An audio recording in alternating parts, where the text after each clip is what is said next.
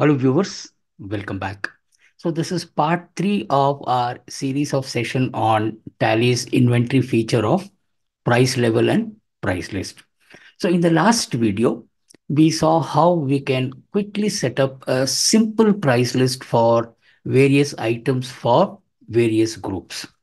In this video, we will learn how we can have further configurations done for your price list. Example, that uh, supposing if you have a lot of items and lot of groups, how can you set up price list group wise? And also we will learn how you can remove a price level. And also we will see how in case we have made a mistake in your price list for an item, how you can quickly go and modify that item. So let us go to Tally and explore the other configurations that you can leverage with regards to price list and price level.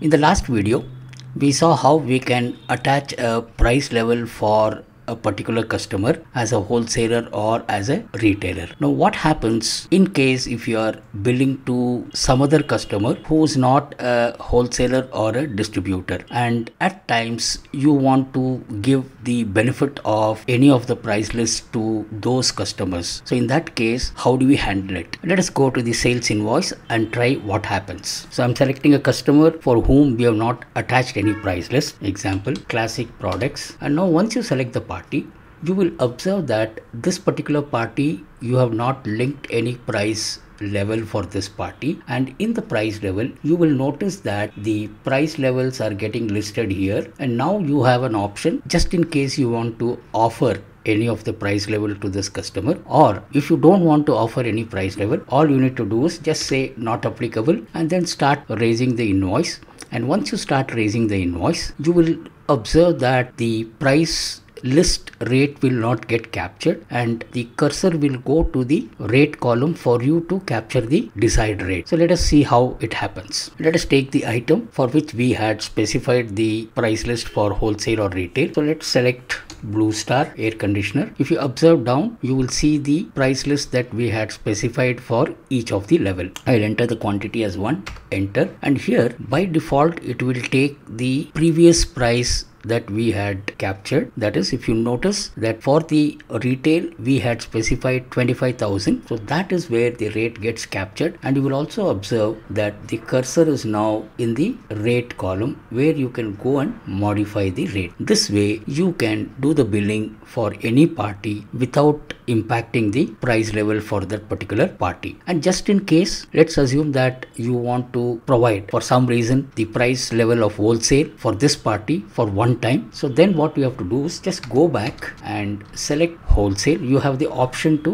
select any price level here. Select wholesale sales enter and immediately you will observe that the rate is automatically changed to 20000 at the bottom you will see what is the rate that we have specified for the wholesale price level. And when you press enter you will observe that the cursor is jumped to the amount column. It is not allowing you to change the rate since it is picking up from the price list of the wholesale. Now let us take another use case. Let's say for some reason you don't want to provide the benefit of price level for customer to whom you have attached the price level. How do we handle that situation? Let's say you are billing to your retailer Kamal agencies. If you remember Kamal agencies is a retailer. So when you select Kamal agencies and now you will observe that the cursor is not going to the price level since we have attached the price level to this particular customer. Now this use case like I had mentioned you don't want to provide the retail price list. You want to specify your own rate for this particular invoice. So how do we handle that? Since now tally is not allowing you to change here you have a configuration where you can say to modify the master information during the voucher entry. So how do we do that? Remember your secret number two press f12 configure. Make sure that show more configuration and show all configuration is yes. When you come down here you have this option called modify all fields during the voucher entry.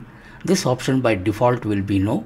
It also says that this is going to be applicable to non-taxable field. So taxable field it is not going to be applicable. So come here and set this as yes enter. Save this by pressing ctrl a. And now when you press backspace you will observe that tally is allowing you to change the price level. Or if you want to set it as not applicable you can also set it up. So let me just go back and come and then show you how tally will now take this field and open this price level. Come back freshly and select Kamal agencies and you will observe that now the cursor is gone to the price level. Here is where you are going to decide whether you want to retain the price level of retail for this customer in this bill or if you don't want to allow the rate specified in the retail price list then you can set it as not applicable and start billing where the cursor will go to the rate column and you can go and modify the rate accordingly. Let us take another use case. Let us say now you have added more item and now you want to append or add these additional items in your existing price level of wholesale and retail. So how do we do that? Observe the price list at the bottom here. These are the additional items for which we want to append the price list for wholesale and retail. Now I have selected one item from different group so that we will also see that how we can add or append the existing price list or when you're creating the new price list how you can set the price list for each of the group. That is what we will witness now. So let us go to the price list alteration screen. How do we do? Click on alter and then select price list stock group press enter. And now instead of selecting all item let us select group wise and add the price list for that level. Let us select microwave group. I'm going to select microwave group enter and we want to append wholesale select wholesale. An important thing applicable from keep this as the original applicable date press enter. And now we are seeing the new screen. So here just observe the price list at the bottom. The price list for wholesale for LG microwave which is part of the microwave group is 12,000 rupees. So what we do, we select LG microwave 32 liters and come to the rate here and you don't have to worry what is the rate that you have to decide. You will also observe that the cost price of the item is displayed here. So it helps you to decide on the margin or percentage that you want to add for the wholesale price list. So if you observe at the bottom the rate for LG microwave is 12000 just enter 12000 and now we are going to that's the only item that we want to add here except the screen. Now the next group that we are going to select is the monitor group. Enter. Again wholesale same date. Observe the price list at the bottom. Acer monitor for wholesale is 9000 rupees. So i'm going to select acer monitor. Rate is 9000 and accept. The next item we are going to select computer accessories and in this we are going to select the first item Logitech wireless keyboard. The rate is 2500. Now you can just press Ctrl A. You don't have to press keep entering. And the last one is we are going to select computers group wholesale same date and here we are going to select Asus VivoBook 15 laptop. The rate is going to be 40,000 for the wholesaler. Save it. So this way you can go and append the price list for the retailer for the same item. Now we have to see whether the addition that we have made for the other group has it got added to the existing wholesale price list. So come here and select wholesale. Now you have to select all item. Just select all item select wholesale press enter and you will observe that the addition or the new item that we have added in the existing wholesale price level is got added or appended to it. So you will see that acer monitor then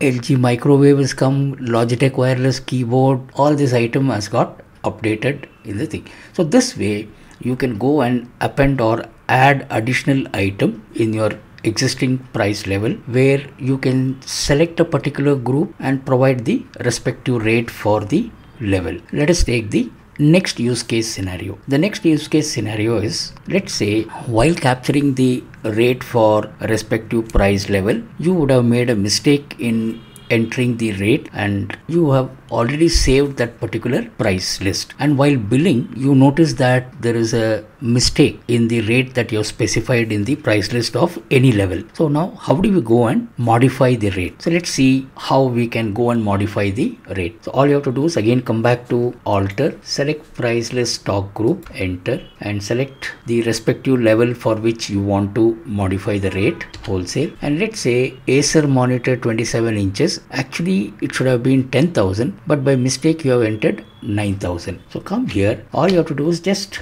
change the rate enter and then save it. Once you save the modified rate will be saved or captured. So just to cross check whether the rate has got updated again you can go into this and you will see that the rate has got appended here. Let's take the next use case. Now let's say for some reason you want to delete the price level. You don't want price levels. So how do we go and delete the price level? So let's see how we can delete the price level. Under the master section, select alter and then just come to the price level, enter and we are seeing the two price levels here and let's say you want to remove the retail price level. So all you have to do is just press spacebar, make it blank and accept it and once you come back you will see that the wholesale price level is there and retail price level is gone again when you come back to price list stock group and when you come here you will see that only one price level is getting listed here and the retail price level is deleted. Now important thing that you have to remember even though you have deleted the price level sometimes maybe by mistake somebody would have deleted the price level. Now what happens to the price list that you have set for the price level? You can go and recall the price level. Important thing is that whatever is the name that you have provided, go and specify the exact name and you will get your price list back for that particular level. So how do we do that? Come back to alter, select price level and now you just say retail. The spelling should be exactly as per your previous level that you have created. Enter, accept and now let us go to price list stock group item select retail applicable and you will see that all the items with your historical price list is retail. So which means literally you can't delete a price list, you can delete a price level. I hope this video would have given you a clear understanding of how you can manage various configurations. We also learned how you can remove a price level and how you can modify the rate of any item in the price list in case you have made a mistake. In the upcoming session, we will have an advanced price level of additional configurations that you can do for the price list where it could be required for your business. So thank you all once again for staying till the end. See you all in the next session. Thank you very much.